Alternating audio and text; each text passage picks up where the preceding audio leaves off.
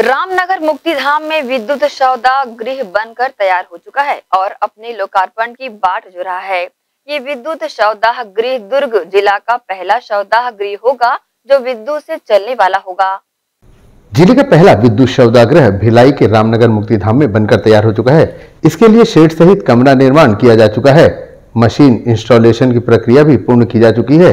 विद्युत सप्लाई के लिए ट्रांसफार्मर भी लगाया जा चुका है। विद्युत सौदाह में शवदाह की प्रक्रिया की बात करें तो आधे घंटे में यह प्रक्रिया पूर्ण हो जाएगी।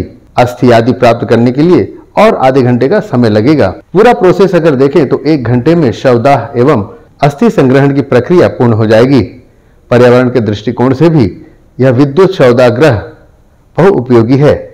लकड़ी और कंडे के अभाव में भी इसकी प्रक्रिया जारी रहेगी, तथा कम मात्रा में लकड़ी और कंडे की खपत होगी। दिन में यदि इसके शवदाह की प्रक्रिया को समझे तो 10 घंटे में 8 से 10 शवदाह हो पाएँगे। बारिश के दिनों में भी यह काफ़ी कारगर साबित होगा, क्योंकि इन दिनों अधिकतर लकड़ी और कंडे के बारिश में भीगने की संभावना अधिक हो जाती है। इसको चालू करने के लिए कुछ प्रक्रिया ही शेष रह गई है। इसके बाद इसे अतिशीघ्र प्रारंभ कर दिया जाएगा। विद्युत सौदाग्रह के निर्माण कार्य में लगभग बावन लाख रुपए का खर्च हुआ है। इसके संचालन एवं संधारण के लिए एजेंसी दो साल तक काम करेगी। तथा इसमें मेंटेनेंस रखेगी। इसके अलावा इसके संबंधित प्रशिक्षण भी कर्मचारियों को दिया जाएगा। एक तरह से यह आधुनिक विद्युत सौदाग्रह होगा, जो कि भिलाई में अपने तरह का पहला सौदाग्रह होगा। यहाँ लकड़ी और कंडे से होने वाले खर्च की अपेक्षा पैसे की बचत होने की संभावना जताई जा रही है। कोरोना काल में शव की अधिक संख्या मुक्तिधाम में आने को देखते हुए यह निर्णय लिया गया और इस विद्युत शवदाह का निर्माण कराया गया। और अब यह पूर्णता बनकर तैयार है। शीघ्र ही इसे प्रारंभ कर दिया जाएगा।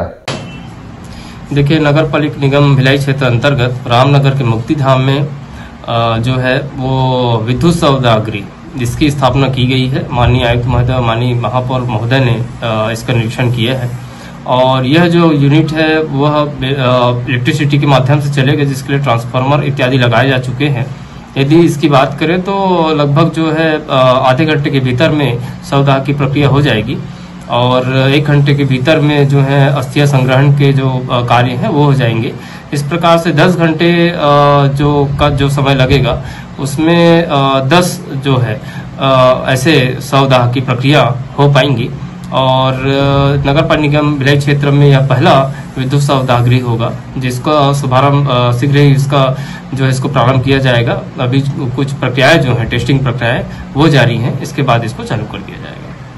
रामनगर के मुक्ति धाम में इस विद्युत सौदाग्रह का निरीक्षण निगम आयुक्त रोहित व्यास एवं महापौर नीरज पाल ने किया है और इसे आम जनमानस और पर्यावरण के लिए बहु उपयोगी भी बताया है। ग्रैंड एशियन न्यूज़ के लिए भिलाई से संतोष शर्मा की रिपोर्ट।